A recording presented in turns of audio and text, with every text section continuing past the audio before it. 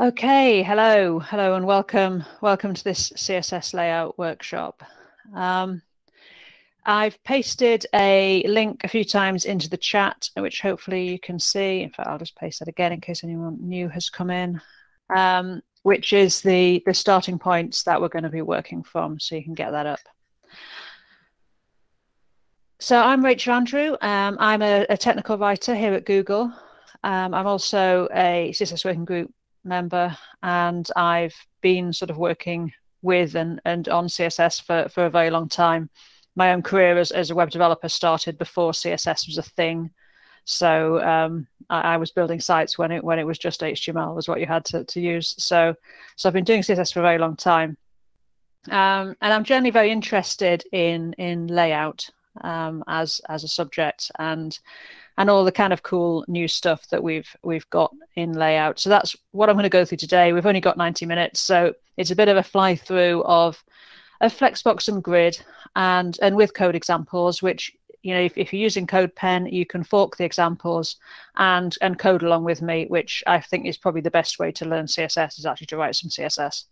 Um, and I'll leave the page up uh, afterwards so you can always refer back to, to the examples I was using. Um, you can ask questions here in the in the messages. We don't have a huge amount of time for questions, so if you want to ask questions in the Discord, I've put the link um, on the page there. Uh, it means that I can go back later today and, and actually answer the questions that we, maybe we don't get time to do. So it's up to you. But if, if you want to, if you've got something that you, you'd like an answer to and we might not get to it, then if you pop it in the Discord, I shall try and get, get in there later and answer some of those questions that you have. So we'll get going and we'll get going with the first example here because we're going to start talking about grid.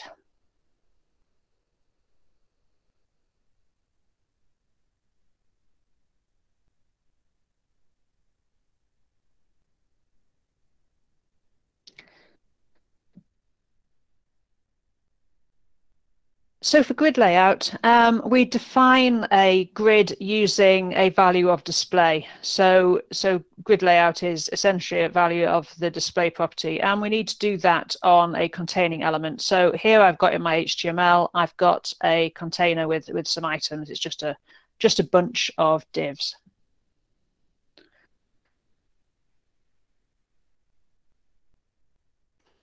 So on my container, which is my parent, Can say display grid. Um, and that's going to give me a grid layout, although nothing is going to apparently happen straight away because we basically get a, a one column grid, uh, which looks very much like block layout. So we'll need to start creating some columns to be able to, to see anything. So we do that with the grid template columns property. And for now, let's just create some columns using um, some pixels. Nice and straightforward.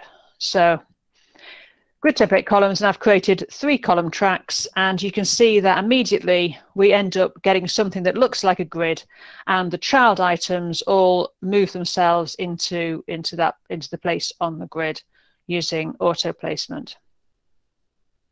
If you wanted some rows, you can do the same thing. So we can use grid template rows. And for now, let's just again give them a sort of fixed height. As you can see there that we've also created some rows. Um, grids are made up of grid lines. Um, they start uh, from one and at the, at the, start of the grid, and that relates to the writing mode of the document. So I'm in English. So line one is on the left. If I was working in Arabic, um, which is a script that's written right to left, then line one would be on the right. So it follows the, the writing mode of the document. Now, the space between two lines is referred to as a track. So you've got column tracks and you've got row tracks. Um, we can also have gaps. Uh, if we use the gap property, and that will space out your your tracks essentially. Um, you can also use row gap and column gap if you want to do those individually. And the smallest section of the grid is referred to as a grid cell, and that's conceptually like a, a table cell, really. Um, it's, it's the smallest area that you've got on your grid. Um, another bit of terminology is we have something called the explicit grid, which is the grid that you've defined with grid template columns and grid template rows. But you'll find that if you remove the row tracks, and we saw that an issue we just did columns, you're still going to get rows. And that's because we have something called the implicit grid. Um, rather than just kind of like stacking your content up in the corner, if you say display grid and don't define rows or columns, um, grid is going to create you implicit tracks. And actually, in reality, a lot of the time, what you want to do is control the columns, but all you want is the rows to be as big as the content is, which is what you get by default because tracks are sized as auto by default.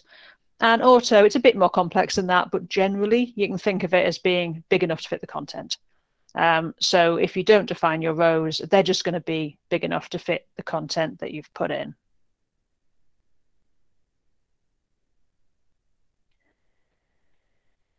So that's the sort of basics of just creating your initial grid. Um, I've used pixels there to set out my grid, but you can use all sorts of different sizing methods. So you can use any valid length unit, which means that you could, for instance, use um, M's there and size your track that way. Um, you could use CH, which is um, roughly 15 characters. Um, so any of the, the length units that you've got in CSS, you can use those. You can also use percentages. Um, if you use a percentage, for example, 20%, that is going to be a percentage of the grid container. Um, that's your that's your percentage sizing. Um, percentages are also valid for the gap property. You can use percentages there. As I mentioned, you can also use auto for your track sizing um, and that will that would be roughly big enough um, to fit the content. Um, the thing about auto size tracks is they will stretch by default. So if we set our final track there to auto, and there's some extra space in the grid container, you can see how it gets big and it stretches actually past the size of the content because it's just taking up all of the space. Um, only auto tracks will do will do that of the sort of standard um, sort of track sizing. Um, the others, if you say 150 pixels, you'll get 150 pixels. It won't stretch out to fill up any spare space. If you say auto, it will use as much space as it needs to lay out the content, but if there's some spare space left over, it will stretch and fill it. An auto is um, essentially a kind of intrinsic sizing. And what we mean by intrinsic sizing is sizing that looks at the content and works out how big it needs to be. Um, whereas all the other kinds of sizing, the length units and so on, we refer to as extrinsic sizing, as in you've defined the size and you you're going to fit your content into it. Um, um, intrinsic sizing actually says, well, I want this to be big enough to, to fit my content. So as well as auto, um, you'll find there are some keywords that we can use in um, grid layout, which actually sort of use this intrinsic sizing um, and also kind of expose a bit how it works. So the first of those is min content. So if I create three tracks of min content size, you can see how min content behaves. Um, the track that's got the, you know, the, the, the cell that's got a lot of content in it, it's compressed down. And what it's done is it's got as small as it possibly can do without causing any overflow, uh, which means that it's taking all of the soft wrapping opportunities it's got and, and getting as, as small as it can, but nothing's poking out of the box. And so that's that track's min content size. That's as small as it can possibly be. So we have the, the sort of reverse of that, which is max content. So if we make our tracks max content sized, can see what happens there. So our, our uh, cell here that's got a lot of content in, it's stretched out and it's it's gone as long as it can, but no bigger. It's not like when I used auto and it's stretched bigger than the size of the content. It's just gone to the size of the content. Now that would happen even if there wasn't enough space for it to do that. So it could cause an overflow, for example. Um, if you had, you know, a long paragraph in there, it would just keep on unraveling um, and would eventually cause a scroll bar um, or break out of your box or what have you. But that's the max content size. Um, and that's kind of important to understand because although we can use these keywords um, as sizing, you know, within grid, they're also how grid and also flexbox kind of work out how big things are. They look at what's the smallest size it can be and what's the biggest size it can be, and then make decisions about how to lay out your content based on those two things. So it's kind of they're kind of useful um, useful sort of um, keywords to understand um, because they expose something about about CSS and how sizing is calculated. Um, but a very useful keyword which uses this this um, intrinsic sizing is fit content. And what fit content does is we pass in a value, so a length unit. Um, so if we create three tracks using fit content 10em, you can see that the first two tracks have just gone to their max content size. They've not gone to 10em because they don't need 10em to display what they've got in, in there. Um, the last track has started to go to max content size, but once it's hit 10em, it's then started to wrap. So that's quite a useful little function to use on track sizing because you can kind of get some of the benefits of letting things be sized by content, but you're putting limits on it. So you don't say get an overflow or what have you. Um, it's worth noting these keywords aren't just defined for grid layout. It's just that they have best support in grid layout at the moment. They are defined and some of them work better than others in different browsers just for things like, you know, width or, or what have you. So actually used instead of a, a length unit. Um, so they are defined to be used all over CSS. It's just at the moment um, their best support is in grid and, and they're supported wherever grid is supported. So that's that's kind of pretty much everywhere. But these functions should be available for, for all types of, of layout. So those are those keywords. And as I say, remember, particularly min content and max content, kind of just hold that in, in your mind because it'll, it'll come in useful later, particularly when we look at Flexbox. Uh, we also have the FR unit. Now this is specific to grid layout. Um, it, it, because what it does is it defines a fraction of the available space in the container. Um, it's not purely all of the space in the container, so it's not, oh, you know, the three 1FR columns will not give you essentially a third, because if there's something big in one of those um, grid cells, say an, an image that couldn't that didn't size down, that would still take up more space, and then what was distributed would be what's left over. So it's not quite um, a fraction of the of the whole space; it's of the available space. But most of the time, as you can see here, we do get that sort of equal looking layout. Um, and you can play around with these values. So you can say, well, I'd like my first one to have 2FR and the others to have one FR each. Um, unlike using percentages, the um, the gap is taken away before the space is distributed. So you you know you don't have to kind of work out like we do when we, we use percentages for layout um, how much uh, how much has to go for the gap. You can also mix FR units and um, other length units. Again, what happens is the um, sort of uh, fixed size is taken away first, and then whatever left is going to be distributed to those tracks.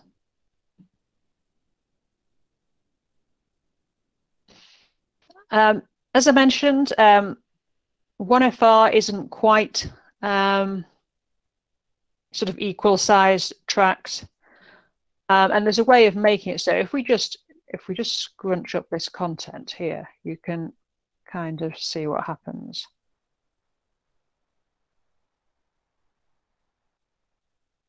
So we're making this one so it's um, not going to break.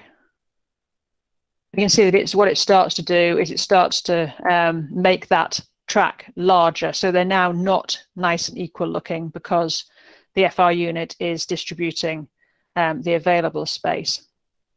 If you want to force that, you, you absolutely want that track to be a fraction of the available space, then we can use the min-max function for our track sizing.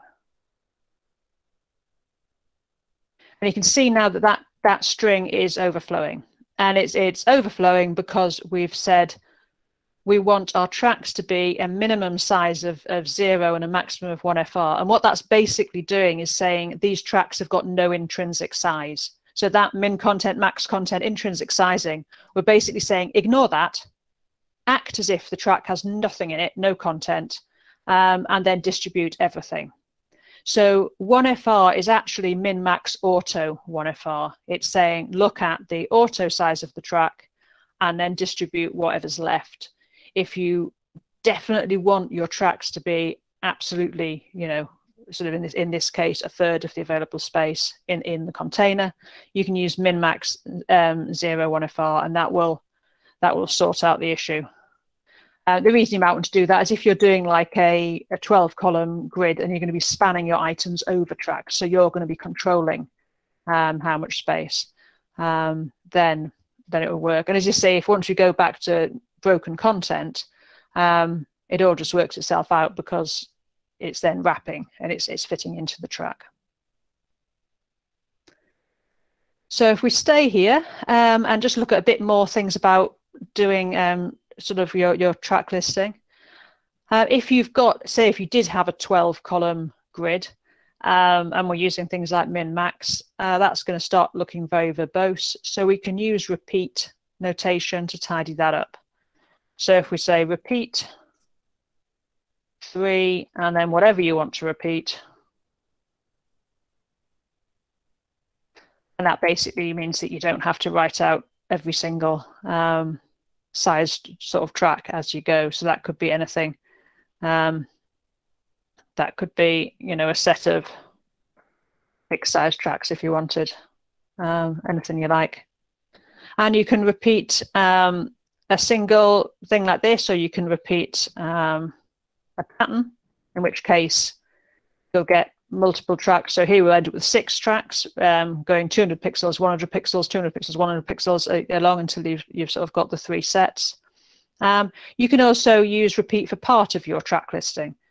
So here we might have our repeating section and then a 100 pixel track on the end. Um, so you don't have to use it for the full thing. But it's just a handy way to tidy things up, really.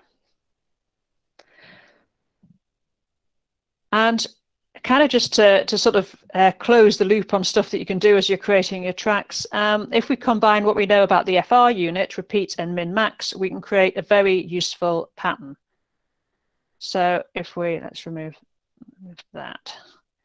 So if we say repeat auto fill 200 pixels, then what happens is grid will have as many 200 pixel columns as it can in the container. So that's quite neat, but you can see they're not flexible columns. They're kind of, they're, they're, they're fixed. We're getting 200 pixel columns, then we get a gap on the end. Um, if we say min max 200 pixels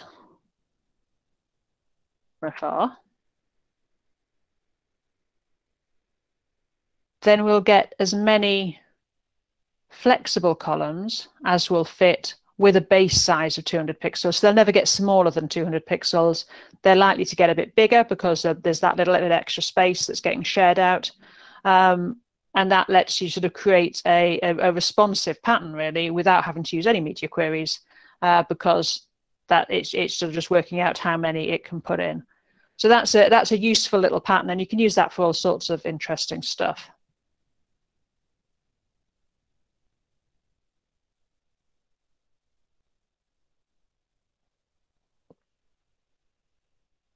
So that's sort of the basics of creating um, a grid uh, sort of very quickly.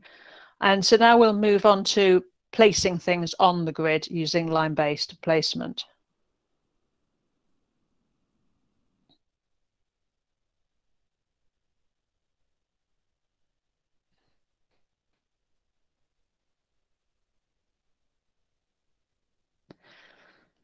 So grids always have lines. Um, the lines are horizontal and vertical. As I mentioned earlier, they're indexed from one.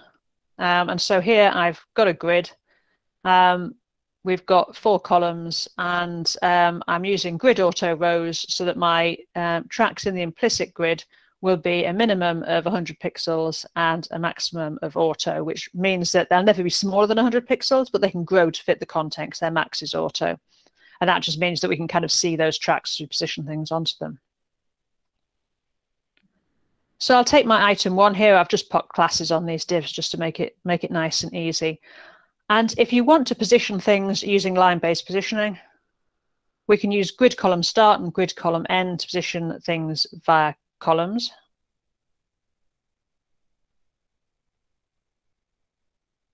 So let's start on line one. End on line three. And you can see now that that item is, is stretching over a couple of tracks there. Um, those are the, the longhand properties. They're obviously fairly lengthy. Um, you've also got grid row start and grid row end if you're, if you're working by rows. Uh, you can compress that down to a shorthand if we just use grid column and then use a forward slash and then the end line that you want to go to. So remember, you're targeting lines, not the tracks. Um, so we're going to line three because that is the line that sort of is after track two. So you, you're, you're targeting the line numbers rather than the tracks. If you want your item to start at the first line, end at the last line, you can use minus one as your last line. Because as well as counting up from one from the, the start of the of the uh, layout, they count back from minus one from the end line. So you can target that, or you could go to the second last line uh, with minus two, for example. A little note is that that only works for the explicit grid. So you can only do the, the negative line numbers um, with the grid tracks that you've defined with um, grid template columns and grid template rows. It doesn't work to go to the last line. Say if you're just filling up a grid with implicit rows, um, that you won't be able to target the last one with minus one. Um, it is an issue that's raised that we'd quite like to be able to do that, um, but I think it's because of the the performance implication of laying everything out and then working out where the last line is going to be that at the moment that doesn't work. So minus one will only go to the last line of the explicit grid. So the last line of what you specified with grid template columns and grid template rows. So I say this all works in, in the same way for for rows other than that that sort of minus one things we've got implicit rows here. So we say grid row one to three. So my rows are, are getting that height because of the min-max function, um, setting them to a minimum of 100 pixels, just so we can kind of see where we've got those rows.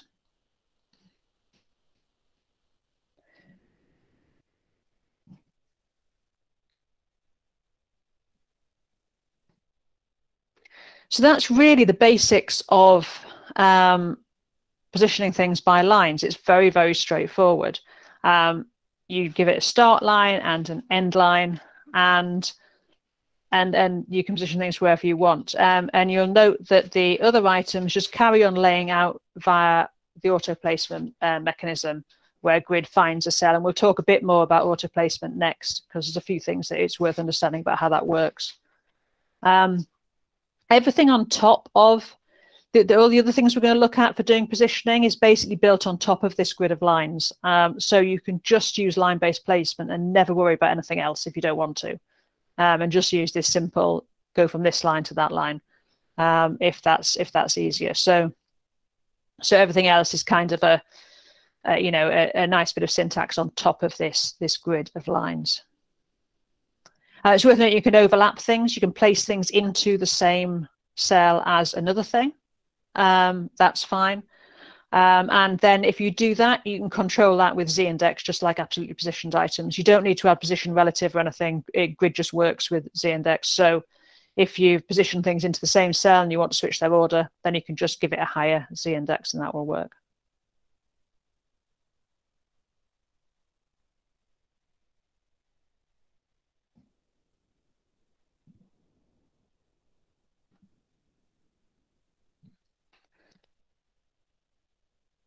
So I am kind of rattling through things today because we obviously don't have a huge amount of time, um, and I'll try and pick up some questions at the end um, if they're not answered by future material. But but I'm to try and sort of get through a bunch of stuff. Um, so I want to talk a bit about auto placement because most of the questions I get that where people are a bit confused about something that Grid's doing, uh, they have something to do with auto placement. And auto placement is really powerful in Grid because it means that we can you know, create a grid and just then chuck a bunch of content at it and lay it out. And there's so many patterns on the web that are just that.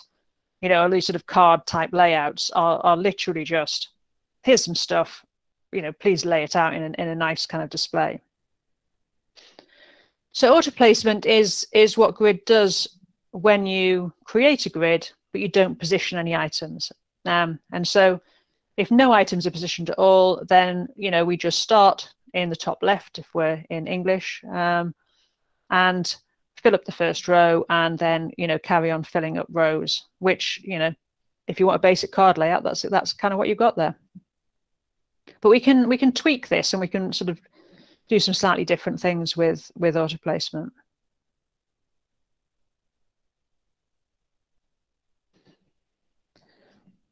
So let's get um, the, the, the first child perhaps of here.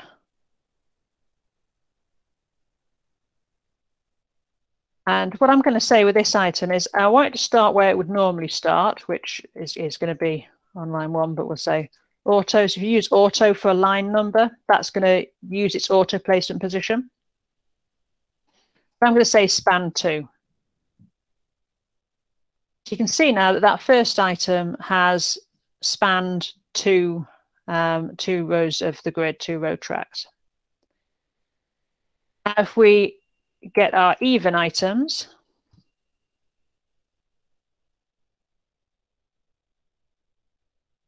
and this time I'm going to span columns.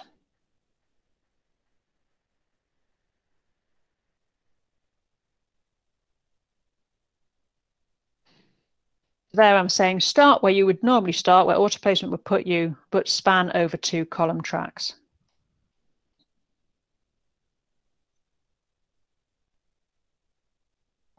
So this is kind of a useful pattern. You know, you could be targeting these items anywhere you like. Um, for example, you could have a, a bunch of images, and some of them are portrait and some of them are landscape, and you want the landscape ones to span two tracks. So you could maybe have a class on the ones that have landscape images and target it that way. Um, you'll notice that there are gaps in the grid when we do this. And so by default, what grid layout is doing is it is keeping things in source order. So if you look at the source here and I've numbered the items, it makes it easy. We've got one, two, three. There's not enough space here for four to fit. So it's just gone down to the next line. And then we've got five. You can modify that behavior with grid auto flow set to dense. And so you can see what's happened there is that uh, item number five has kind of hopped up and filled that gap. So what that does is it kind of takes things out of source order. And if you think about accessibility, that could potentially be a bit of a problem. Um, if, you, if these were, say, product cards and someone was tabbing through them, then you could end up with a rather confusing sort of behavior where you're sort of jumping around uh, the screen. So generally, you need to be very, very careful um, when messing around with things like grid auto flow and dense packing. Uh, but even just with, you know, with positioning things by lines or what have you, if you start to take things away from the order that they are in the source, you can end up creating a very confusing experience for people. Because there's an awful lot of people who maybe use a screen reader, but also can see the content on, on the screen, um, or are, are, using the keyboard completely to navigate. Um, and, and in that situation, you can sort of create an odd experience. The way to test it um, is a lot of dev tools now have got um, the ability to check that the sort of the tab order through through a document, um, and the other thing is just to keyboard navigate yourself. You know, put your mouse away, put your trackpad away, and use your keyboard to get around your site, and make sure that that does make sense. Um, because for a screen reader user, they're going to have things read out to them in source order.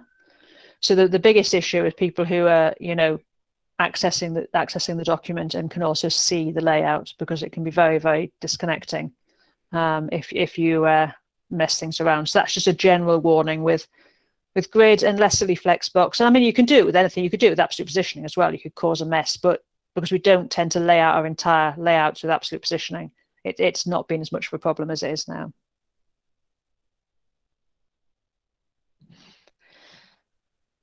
And I have a second auto placement example just because I wanted to highlight something which tends to come up as an issue.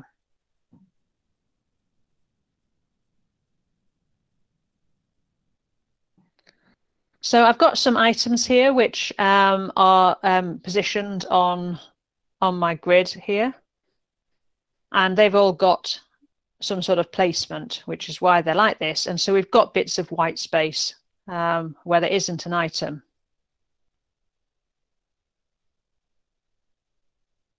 I add another item.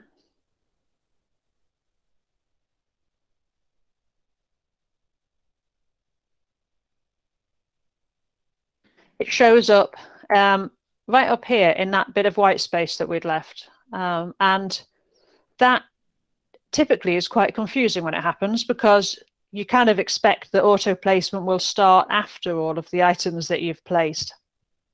If you mix auto placement and line-based positioning, um, and so an, an auto-placed item appears, it will go into the first available cell for it.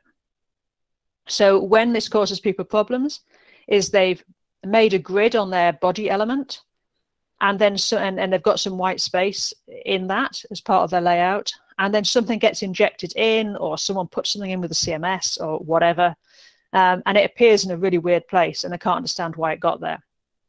It's this is going on. You've got a lot of positioned items. You've just put something in, and it's appeared in an odd place. Um, catches everybody out. Caught me out the other day. I was building an example that just happened to use grid. Um, I was, you know, demonstrating something else, and I'm like, why is that? Where is that thing coming from, and, and why? And it was because it it was something which I hadn't placed, and so it was it sort of popped up into an odd place. So generally, if you're using auto placement, use auto placement if you're positioning items, you probably want to position all of your items um, because otherwise you are going to get a, a, slightly odd, odd effect um, like this.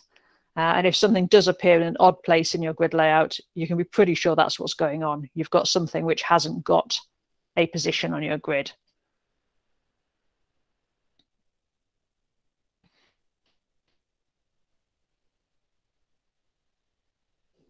So let's look at number five, which is named lines.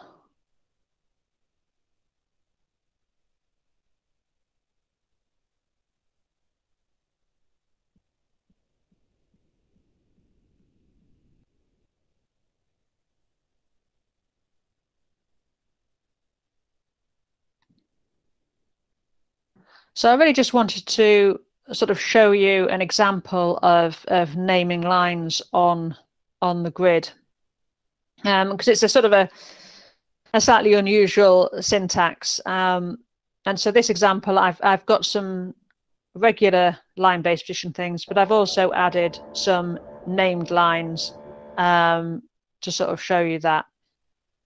So you name lines on your grid um, by using um, a name within square brackets like this, uh, which is a slightly sort of unusual syntax. Um, the name can be pretty much anything you want, um, other than keywords that we use in grid layout. So you couldn't use, say, span um, as, as a name, but otherwise you can use pretty much anything you like. So you name your lines in the position where that line is. So this main start is essentially line one, which means that our item one, which starts at main start and finishes at main end, that's basically like doing one minus one because I've got main end at the end of the grid. You totally don't have to use named lines. Um, as you can see, I've mixed it here with, with using line numbers. There's kind of a, a, sort of reasons why you might want to do it. I mean, it might be easier for other team members. You know, if you name the lines on your grid, um, and then they can just position things against them. You can have multiple line names if you want. So, for example, we could also have, um, you know, call start and call end in here. So you can have multiple lines. You just need to separate them with a with a space, and then you could use either of those line names to target that line. So you might want to do that just to make it easier for the people to work with your grid. Um, if you are redefining this grid within media queries, then if you're careful with naming lines, naming specific lines, you could, for instance, always have content against line content, even if line content was, you know, line two in one context and line one in another. So you can kind of use it that way to, to help make it easier to do a responsive layout and not need to keep track of which line things are positioned against. So that's uh, that's kind of useful. The um, the convention is to use this dash start dash end for your start and end lines, which gives a little bit of extra functionality that we'll we'll look at later. But uh, you don't need to. So you could call them A, B, C, and D if you wanted. Um, it, it doesn't really matter. You can call them anything you want. But this is a convention, so you'll you'll often see people with this sort of name dash start and end in their named lines. Let's say you um, you absolutely don't need to use it. Um, I don't see it used that often. I think people, it, it's not so common used, but it's sort of, I think a lot of things in grid layout, it's just like, it's worth knowing that you can do it because it might come in useful later on. So sort of just know that you can. Um, I don't have time to go into it too much today, but you can have multiple lines with the same name, in which case they act like an index of those lines. So if you named every other line, um, you know, a name, say call or whatever, um, and then you you targeted call two, that would get the second line that was named call. So again, that's a useful possibility. It allow, allows you to sort of target a set of lines um, in, in, rather than targeting the whole grid. Um, so that's just yeah something handy to know that that you can work with. But probably more likely what you're going to want to use is the, the concept of named grid areas. Because I think this is my favorite thing about the grid.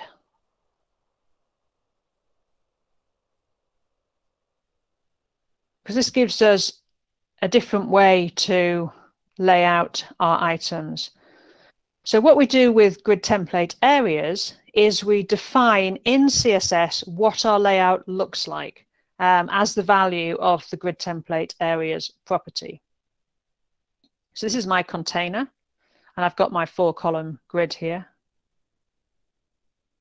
And so what I'm going to do is I'm going to use grid template areas. And we're going to just do a bit of ASCII art here. Which is defining each row of the layout.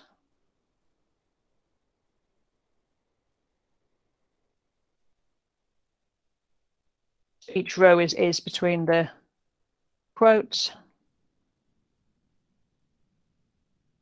That's not going to do anything exciting just yet. But then if we go down to our items, which have each again got a class on them, we can then place them on the grid using the grid area property.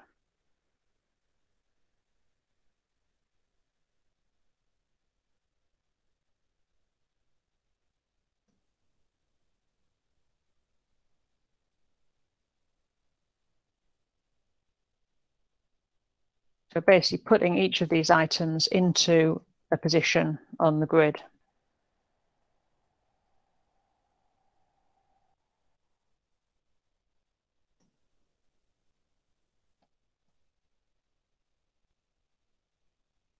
So I've used the names that I defined up here and I've given each of my items um, a grid area. So that's the area that it's going to sit in. So as you can see, a repeated name um, causes the item to span tracks. Um, and we've sort of got these different rectangular areas. They have to be rectangular areas. You can't create like an L-shaped piece or something like that. We can't do any kind of Tetris within our ASCII art at the moment. Um, and you have to have a complete grid. So you can see we've actually filled every cell of the grid.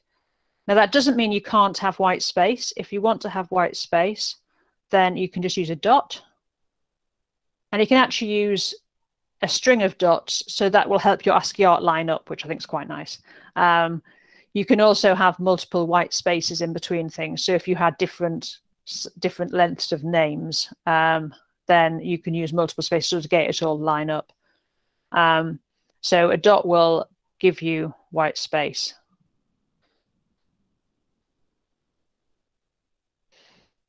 I mean, if you kind of say if you don't have a complete grid or you use a T-shaped area or something like that, then essentially the whole value will, will be seen as invalid and, and, be thrown away, and you won't get a layout. So you kind of have to use use it as you want. But the, the nice thing about this, it's so easy to play around with your layout here.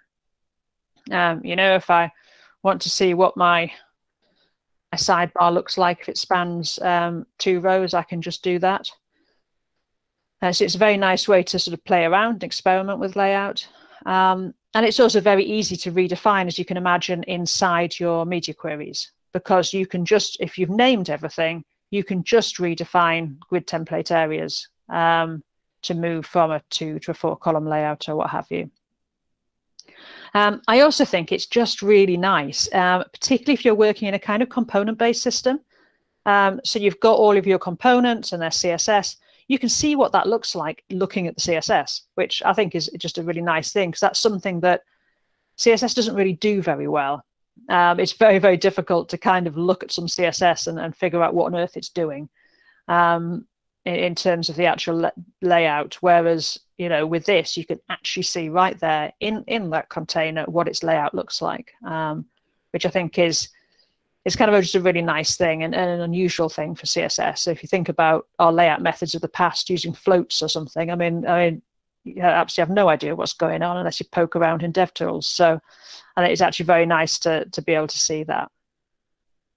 So yeah, I use this all the time. I I, I love it. Um, before Grid was even really a thing, um, I started using this for prototyping just because it's so easy to to mess about in code with with your layouts. It's um, I was using it behind a flag to, to prototype stuff because it, it's a nice thing to use.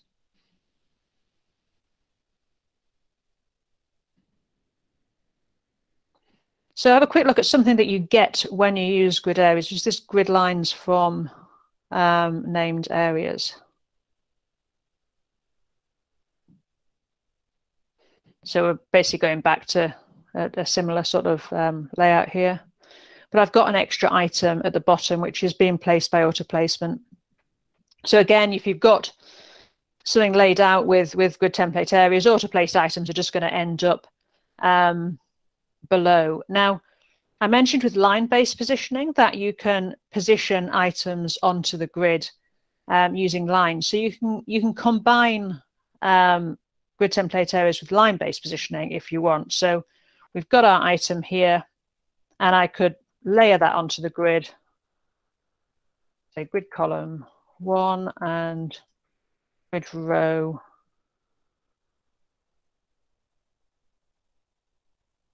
So that's going to sort of dump it, layer it on top, and again that would be that would be sort of controllable with Z-index. You've got your box there. Um, you can also though place it by using line names, and the line names are generated from the names that you've given the different areas on your grid. So we could also position this with SD start and SD start, and it's against the footer, isn't it? So FT end. But this is like using your line base, your, your named line placement, but the named lines are being generated by the names that we gave our areas with dash start and dash end um, appended. So both for rows and columns, so, so for the area HD, we're going to have HD start at the top, HD start at the bottom. So that's for rows. And for columns, we've got HD start um, on the left because we're in English and HD end on the right. Um, so you can actually use those to place an item into that layout um, and lay, and sort of and, and, to layer things over. I mean, for example, you might want to put a close button if this was a, a, little dialog panel or something. You might want to put a close button top right. Well, you could you could use the, the lines to know that you're always targeting that top right area without having to use line numbers, which might change in a responsive layout if you're changing the number of, of uh, column tracks. So again, that's a handy little thing. Um, which I don't see people use very often, but again, it's a, a kind of just a useful little bit of functionality um, that you might find handy. One day it'll solve a problem, so it's sort of handy to know you can do that.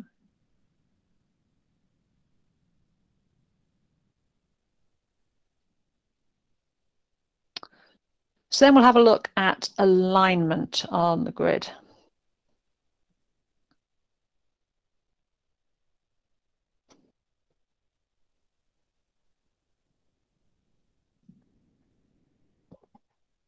So when we're sort of looking at all these demos, um, and I think with a lot of, of grid demos, you know, we see this, we see these sort of full height columns and content which is stretched all the way over each grid cell or, or grid area. Now, the reason they're doing that is because the alignment properties by default stretch over the full area that an item is in. So if you've got a background color on it, it fills the entire area. Um, and it's quite nice. We, we spent a long time on the web battling to have full height columns, and the default for both Grid and Flexbox is you get full height columns. Um, the only time that doesn't happen is if your item has an aspect ratio. So that would be something like an image. Um, images um, or video, anything with an aspect ratio will be aligned to start, um, both for rows and columns, rather than stretch. So we don't stretch your images by default. Um, if you want to stretch your image, if your image is a grid item and you want to stretch it, you absolutely can. But by default, we won't do that um, because that would kind of, well, generally you don't want to stretch your images out of shape. Um, so all of the alignment properties are detailed in the box alignment specification. If you learned Flexbox when Flexbox first came out, you might think of them as really being tied to Flexbox because they started with that spec, but they then got themselves moved out so that we could do alignment anywhere. Um, in, in the same kind of way. So when we talk about alignment, everybody's first question is, I can never remember how whether I should be using align or justify. Um, so I'll try and explain when you should use align and justify. So in grid, and we'll look at Flexbox later, but in grid, um, you use the properties that begin with align on the block axis. So if we're in English, um, which is a horizontal writing mode. The block axis is the, the going from top to bottom. Um, and it's the, the axis of which our blocks lay out one after the other. So on that axis, we're going to use the properties that start with align. So that's align content, align items, align self. Now, align content controls the distribution of space between the tracks. So in this case, my grid is defined by that this sort of grey border. And so I've got some extra space and I've got extra space because I'm using pixels for my track sizing. So I'm not using a, a, sizing that will let them stretch to fill the, the remaining space. Um, so that means that I can do something with that spare space. So I could say align content space between. Oh, and it helps if you spell correctly.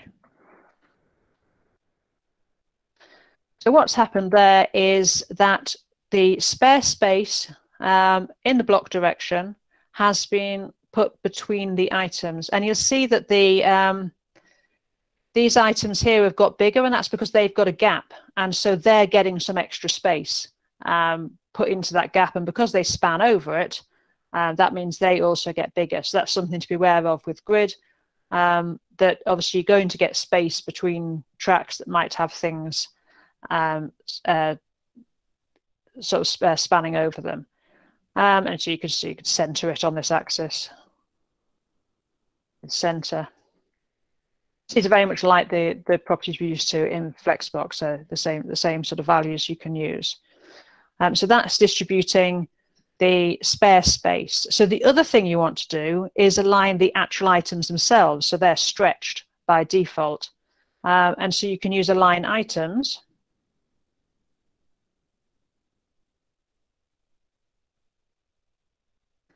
And so now instead of stretching on the block axis to give us our full height columns, it's just they've just aligned up to the start of that item.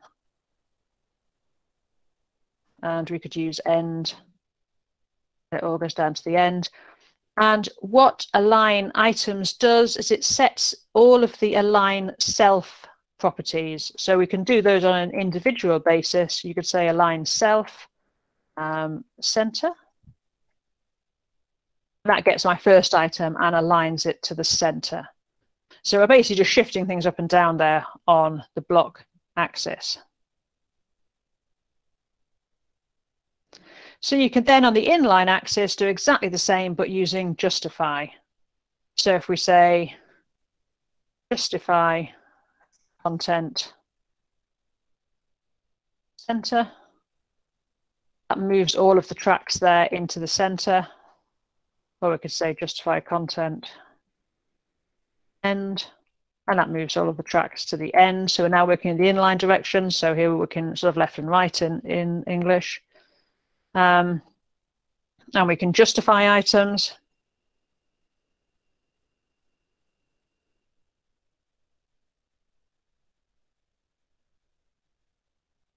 And so that's now justifying the item to the end of its area. And again, we've got the self property. So we can say justify self and target one of them. Let's get that one we had before and say center to it. That's moved that one to the center. So you can see once you start doing that, things can stop looking like a grid. And this is where your sort of ability to layer things sort of works because you might have an item which is stretched all the way over an area. You position another item into that same area and then align it so that it goes to the top right, for example, like a close button. Um, and this kind of means you don't necessarily have to use so much like absolute positioning for those things, um, which can be a little bit fragile. You can actually use grid itself to to move things around. Um, so that's the but you kind of have to play around with them to get used to using them. I think people you know, find them quite confusing. Um, dev tools are really handy because you can kind of see where you're moving things around. You know, look at the grid in dev tools and um, and just play around with them until you get the idea. But in grid, it's fairly straightforward. You've got two dimensions. You've got block and inline. If you want to move things on the block axis, the properties begin with align. If you want to move them on the inline axis, you're going to use the properties that begin with justify. And you've got two different things to deal with. You've got the space around tracks, which only works if you've got extra space. And then you've got the item inside its area to, to sort of move about. Um, and by combining those, you can do all sorts of interesting things. So moving swiftly on, um, something that I think is quite useful, I wanted to wrap up the grid stuff with, is using generated content with grid layout. Because I think this lets you do all sorts of interesting things. Again, it's solving problems that people say, oh, you know, how do I do this with grid? Uh, one of the things we can't do at the moment is style a grid area without putting something into it. So you have to have, you know, some HTML element in there in order to give it a border, for example. Um, we're looking at ways to change that in the CSS working group to give people a, a way to to style um, the sort of the the gap, as it were. Um, but at the moment, that isn't possible. But you can do quite a bit of it by using generated content because it works really nicely with grid. So just as a quick demo of that, if I say container before, and we're just putting in an empty string of generated content, and we'll give it a background color so we can see it. You see there, we've got essentially a new grid item. And so the generated content works in exactly the same way as any other grid item. When you say before with generated content, what it does is it adds a first child. Um, it's a little bit misleading because you're sort of saying container before. You feel like that should be before the container, but it's not. It's actually before the content of the container. So that's what you get. And you've also got after. So I'm just going to copy that.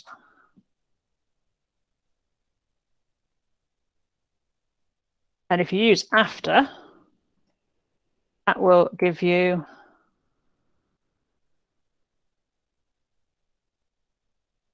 the last child essentially. So it'll put in a piece of generated content um, as the last child of your container.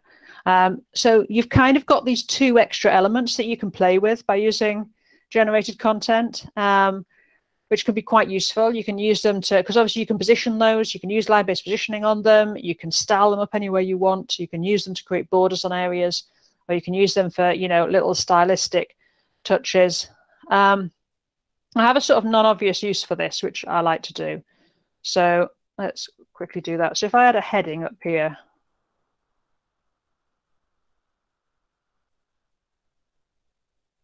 into my HTML, and then I'm going to say, to use generated content before and after the heading.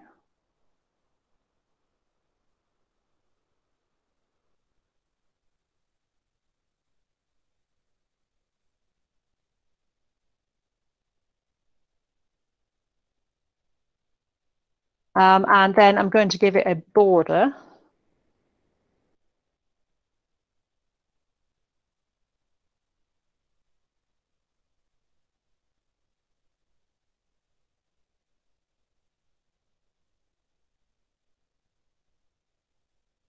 And align it. And then I go to my H1 say display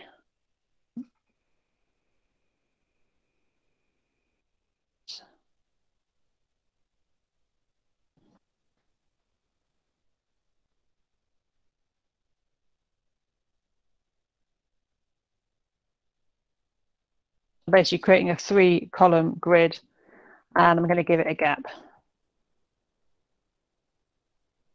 So what that's giving me is nice flexible um, uh, sort of lines either side of my heading.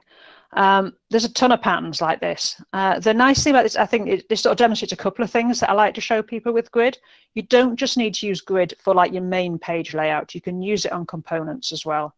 Um, you know, I, I, quite often turn, um, you know, little components into a grid just so I can do this sort of thing. I can I can somehow style it up.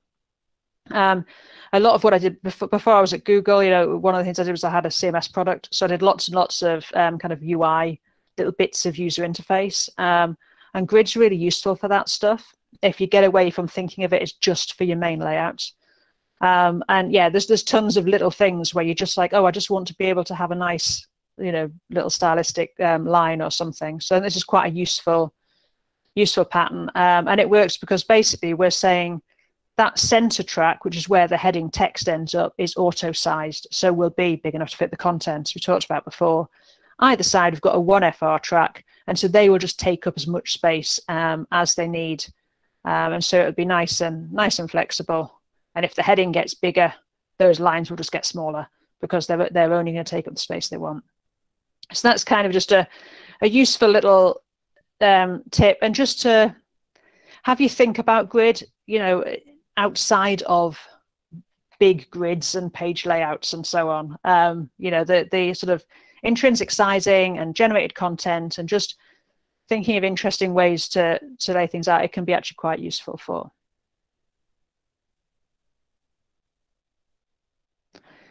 So we've got half an hour left to go, and I want to go through Flexbox a little bit.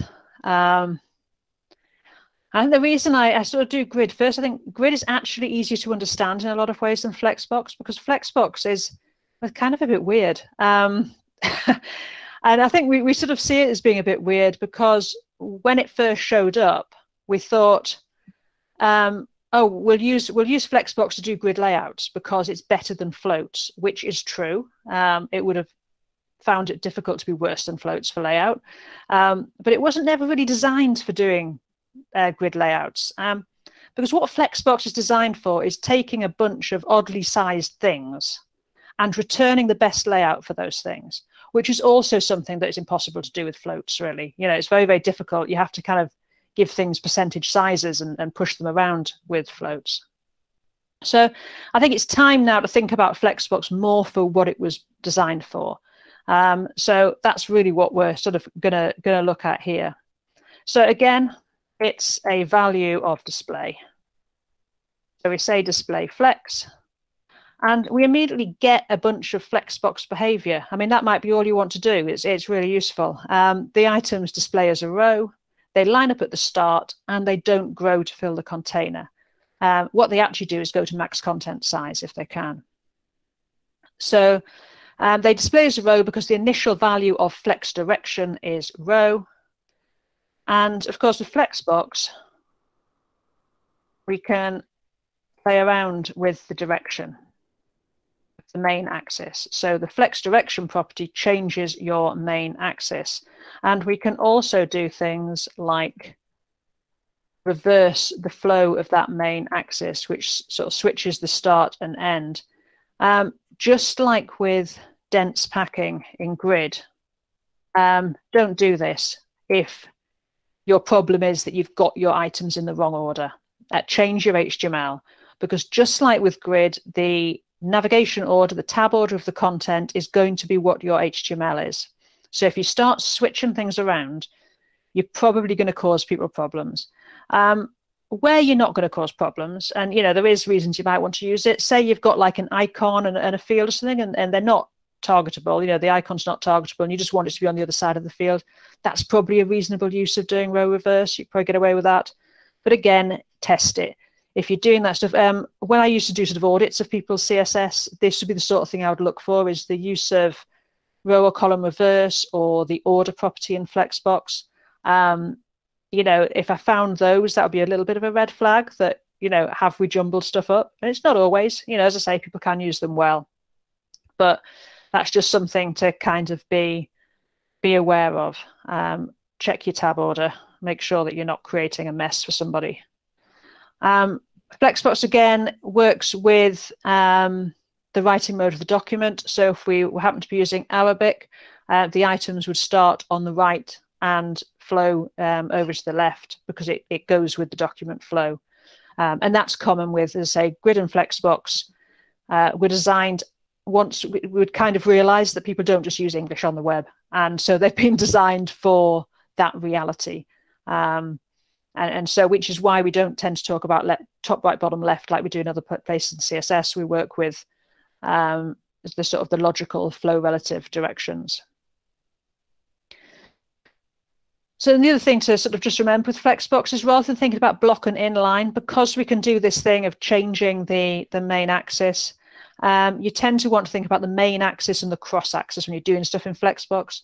So the main axis is whatever you've set flex direction to, or by default row if you've not got a flex direction property.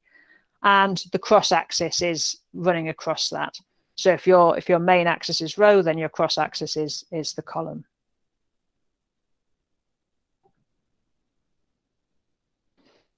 And so let's have a look at number two, which is wrapping flex items. This is the one.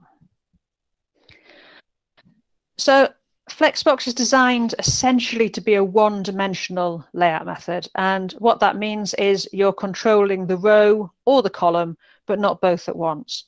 Now, you can obviously get um, multi-line flex containers. Um, so we do that if we've got our, our container here and we say display flex.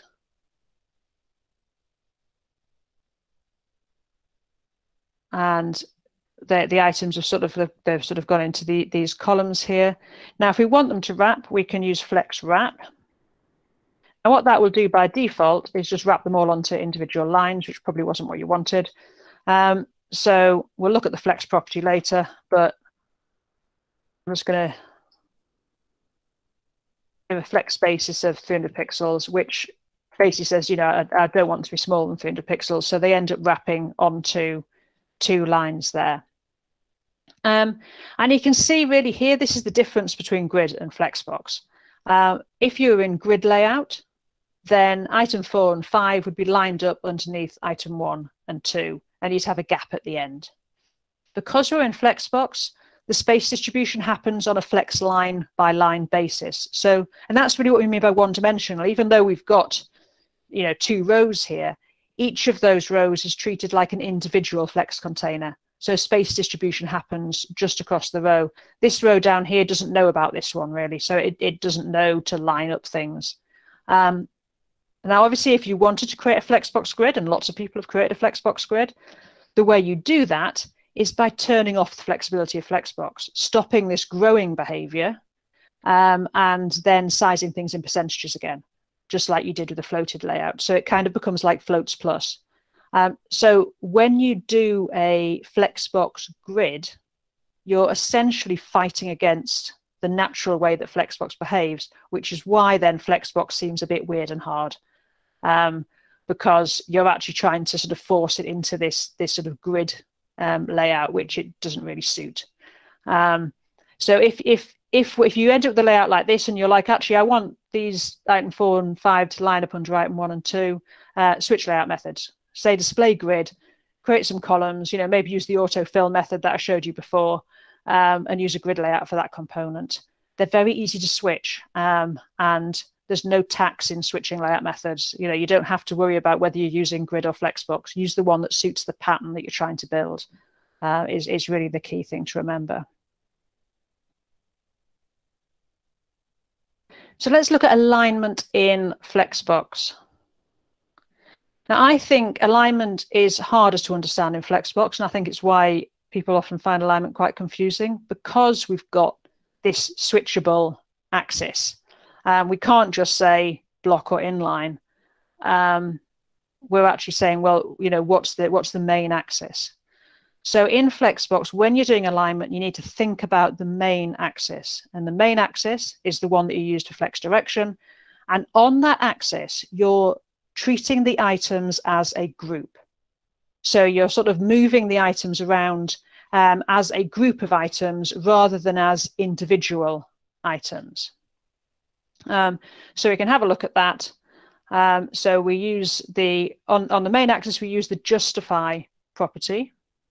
Um, so we can say justify content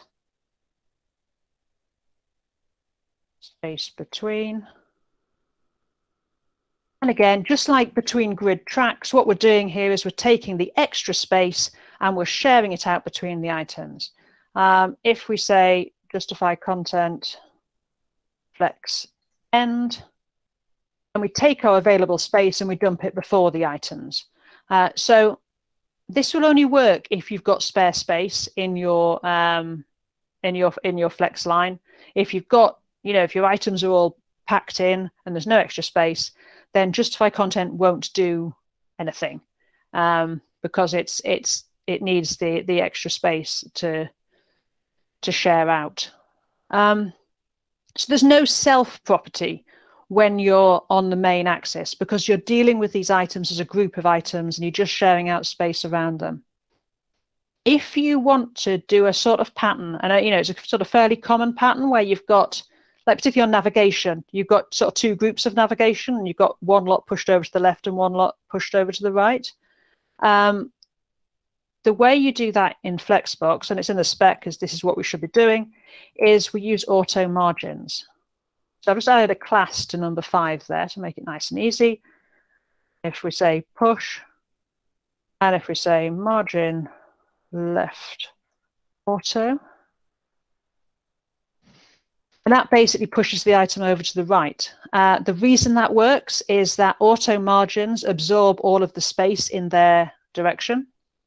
Um, so it's how you center a block. I'm sure you know if you've ever done a you've done a, fixed width or sort of a, a, percentage width layout, and you've done margin left and right auto, and then the layout has gone to the middle. That's because you've got two margins that are both trying to get all possible space, and that's just shoving the thing into the center. If you give a flex item an auto margin, it will take all of the space, and so you get that that separation. So obviously you could put that class wherever you wanted, or you could target something with the last child or what have you.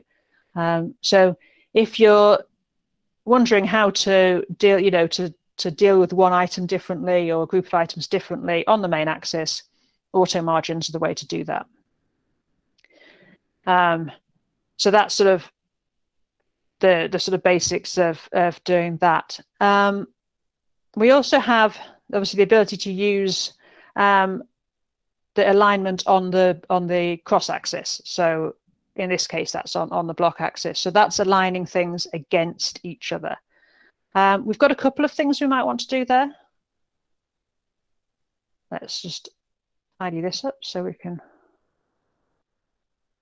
The first of those is if you've got wrapped flex lines and spare space in the container um, on the cross axis, you can use align content to deal with that space in the same way that you use justify content.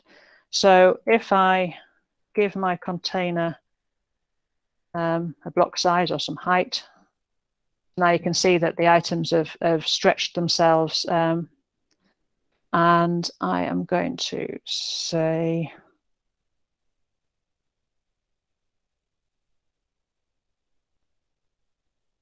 wrap them.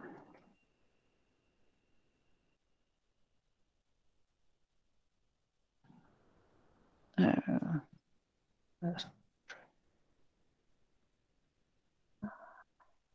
oh, it's in the wrong place. we go. We put flex wrap on the on the parent.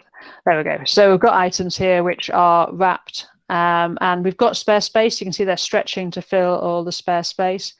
Um, so we can then use align content um, to distribute that space. Um,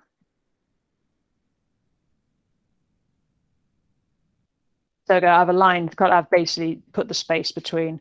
Um, probably you're less likely to be using aligned content, um, but it does work in the same way if you happen to have extra space and your um, multiple lines. And then we also have align items and align self um, on the cross axis. So just like in grid, uh, we can use align items, um, say start.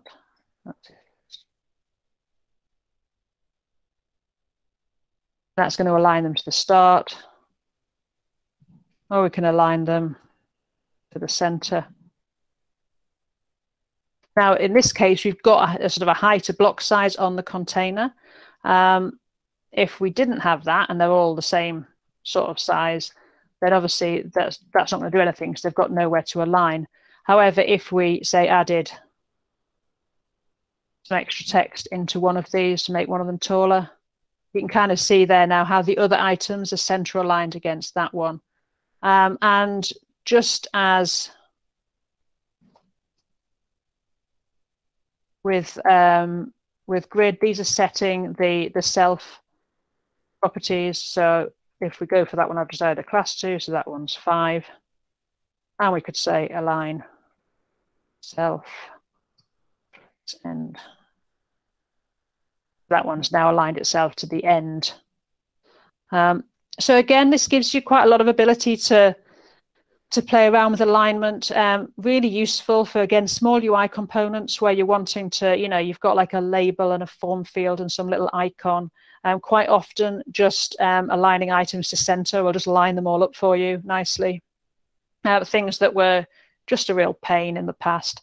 Um, so quite often, you know, using Flexbox for those little alignment tasks, uh, you know, it's it's really handy. Uh, and that's really comes to to this uh, this demo here. One of the very useful things about Flexbox is it allows us to properly center items, which apparently is one of the hardest things in web development. Um, to do that, we've got we've got a container here with an item here that we would like to center. I'm going to make it a flex container. Gives me access to the alignment properties.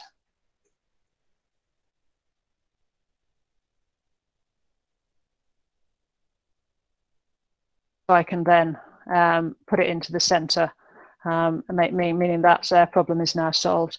Um, in the future, at some point, uh, we might be able to do this without using display flex. The alignment properties are specified for block layout. So just your normal flow, your regular layout um, of things when they're not flex or grid. Um, at the moment, no browser has actually implemented this because messing around with block and inline layout is obviously quite scary. Um, so it's kind of going to be something that that is is coming. I think it's probably something that that people will look at. Um, but there really is no tax in turning a container into a flex container just to do alignment. Um, so if all you want to do is is align the things well, that's absolutely fine. Um, you can you know make it a flex container, then you've got access to the alignment properties for whatever's inside the container to do your alignment. Um, but yeah, at some point in the future, we'll be able to use um, the alignment properties outside of Grid and Flexbox just to to align something um, in, in inside another box. And I think Flexbox is quite useful in that regard because it shows you that actually where you've got the alignment properties, you won't necessarily have all of the alignment properties. You know, in, in Flexbox, we don't have all of the properties on the on the main axis because we're dealing with things as a group. And it'll be the same with block layout. Uh, not all of the alignment properties are going to make sense in a block layout context. So it'll just be the ones that, that do make sense will be the ones you have access to.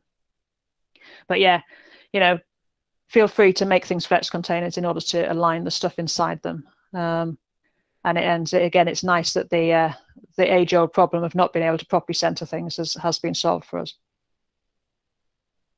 So really just to finish off, I wanted to look at the, the actual flex property itself uh, very quickly. And so really what we've looked at so far with alignment is distributing space um, around the items. So you've got some spare space in your container and we're going to sort of move the items around by messing about with that space.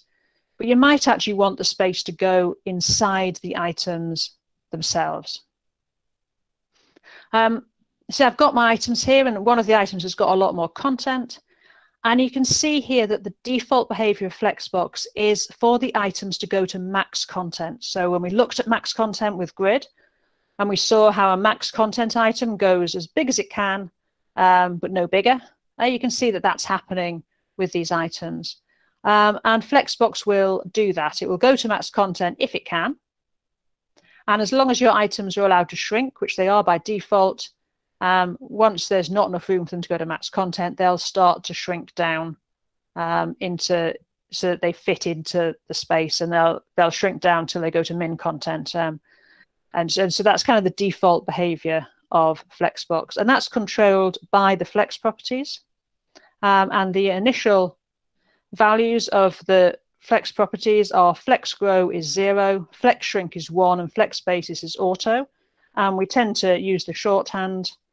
So grow, shrink, auto. So flex grow is zero. The items don't grow. And you can see that because they've only gone to max content. They haven't filled the container. Um, flex shrink is one. They can shrink. And we saw that when we made the container smaller, they shrunk. And the flex basis is auto, which again, big enough to fit the content, kind of intrinsic sizing. Uh, the flex algorithm will treat that as going to max content if it can, if not, sort of shrinking down. Um, so that's sort of the basics of of using um, the flex properties there. So obviously we can we can play around with those a bit. Uh, if you do want the items to grow, we could say flex one, and you can see now that the items have grown and they've filled the container uh, but they haven't they haven't gone to like equal sizes. It's because it's a bit like the FR unit in grid. You're sort of sharing out whatever's left of um, in the space um, accord, from the from the auto basis because that's our flex basis. If you would like the items to all end up equal, we could change auto to zero. And again, just like that FR unit, we're saying here the items have got no intrinsic size give them a flex basis of zero, and you get these sort of equally sized um, items. So that's really the sort of two things you might want to sort of understand about flex basis. You can give a flex basis of a, a length unit, which is what we were doing to force things to wrap.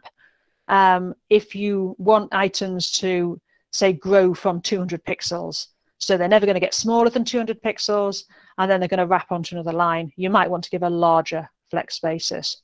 Um, but most of the time with Flexbox, you can use sort of these default values for the flex properties. You don't even need to remember flex grow, flex shrink, and flex basis. You can remember the these sort of default shorthands. Um, so those are flex initial. That's your initial Um, you probably wouldn't need to set this unless you were setting it back to it for some reason, um, because this is just the initial values. So the things um, can, um, they, they do shrink, they don't grow, um, and their flex basis is auto. If you say flex auto, that gives you shrinking. So flex shrink is one, uh, flex grow is one, so the items can grow, and their flex basis is auto. If you say flex none, you get fully inflexible flex items. So their flex shrink value is set to zero. They're not allowed to shrink. Um, you might want to do this if you are just using Flexbox for the alignment properties. You're saying display flex because you want to turn on the ability to use the alignment properties, but you don't want any other flexible behavior to start happening. You might want to use Flex One. That might solve your problem. I don't think I've ever used it in production, but it's there if you need to use it. Um, and then the other thing is to use, and this is what all the tutorials did when FlexBox first came out and confused everybody. Flex One um, is basically setting the Flex Grow um, to zero and uh, the, the flex basis to zero and flex grow to whatever you put here. So if we have an item our class, And if we say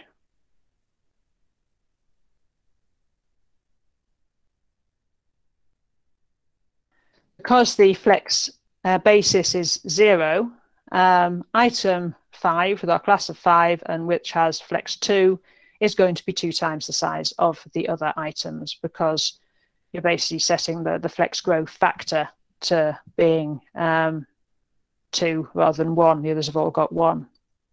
Um, so when you use flex one, two, whatever, you're setting the flex base to zero, so you get that consistent, um, you know, sharing out of of, of content. Um, whereas if you use flex auto, which is the default, then Flexbox looks at the max content size and the min content size and figures out, you know, how much um, space to give each of the items, um, which I think is kind of the killer feature of Flexbox. It's kind of what it's for.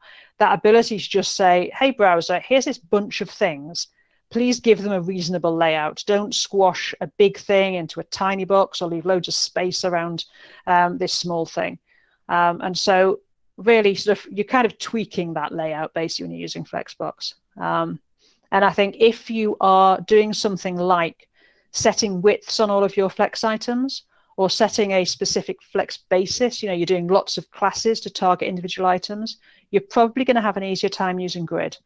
And you don't need to think of grid as just being um, just just being for like you know two dimensional things. You can use grid like I did for the heading for a one dimensional thing, just because it gives you access to a bunch of stuff.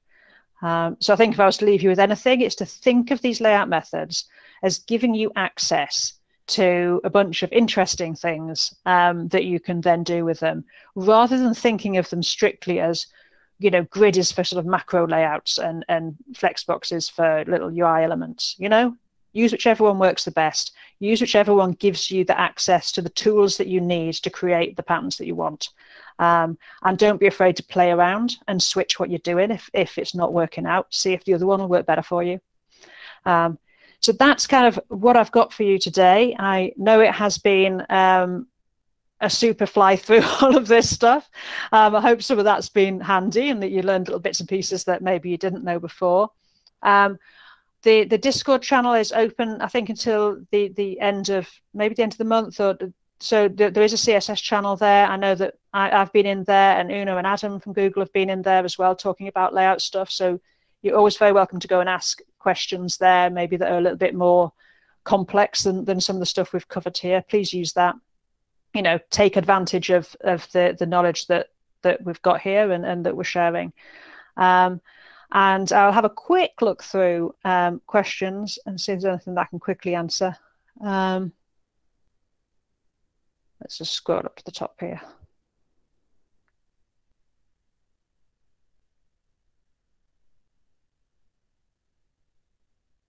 Um, right, so there someone here says, um, named lines, is the best practice to use areas versus line numbers?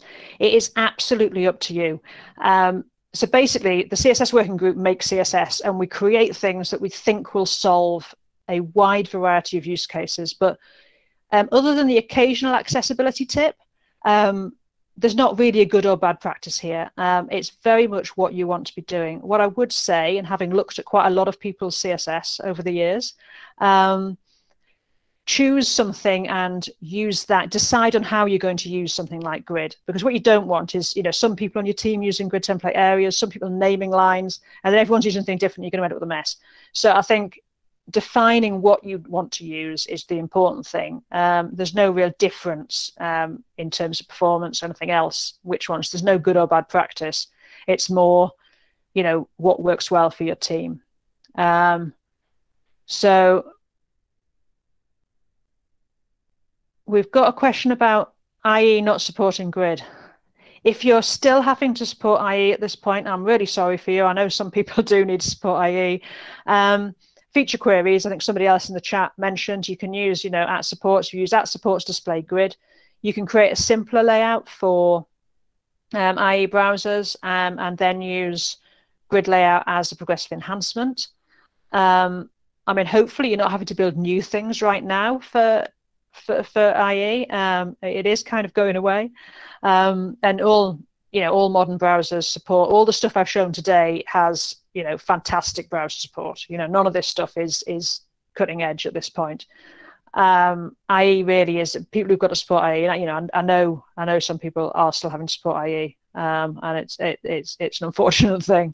Um, but feature queries are probably the best way to to deal with that if you're wanting to introduce components laid out with grid into something which has to support IE. Because remember that support is support isn't looks the same. And I think if you're dealing with Internet Explorer at this point, then there is so much people using Internet Explorer are going to be seeing such a mess on the web. They're going to be very happy if they can just read your content and and you know you're not doing anything that makes it hard for them to use. So I think that you know use giving them a simpler layout and then using feature queries to enhance that layout is probably a good way forward. Um, and if you are just adding things into um, a layout that needs support IE, that's probably the way to go. Um, and yeah, you know, feature queries are really for anything new that appears on the web now. You can use feature queries to detect it and to to provide fallbacks um, if if it's going to be a problem. and we are really up on time. As I say, if you've got specific questions, you've got bits of code you want me to look at, um, do stick them into the Discord. As I say, um, we got had quite a nice chat in there after the, the last workshop, so you know, do use that. And as I say, I'm not the only person who has, has got knowledge on, on CSS answering there. You know, Una and Adam have, have got a ton of knowledge on, on creating cool stuff. So, so do come and use the Discord. I hope this has been handy. Um, I'm Rachel Andrew. I'm at Rachel Andrew on Twitter. If you want to follow me there, I, I do talk about CSS stuff as well as cats. Um, so you can follow me there. And yeah, enjoy the rest of your day. I hope this has been handy for you. Thank you.